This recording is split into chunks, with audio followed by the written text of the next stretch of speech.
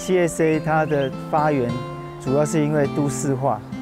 今天把社区拖下水来支持农场这个经营模式是可行的。在台湾都市规划是不断的扩张那我们希望在这样城乡交界的地方建设一个共生。我一直很怕时间过了然后没办法再去做其他事情所以我都会带着千家的泥土到处走。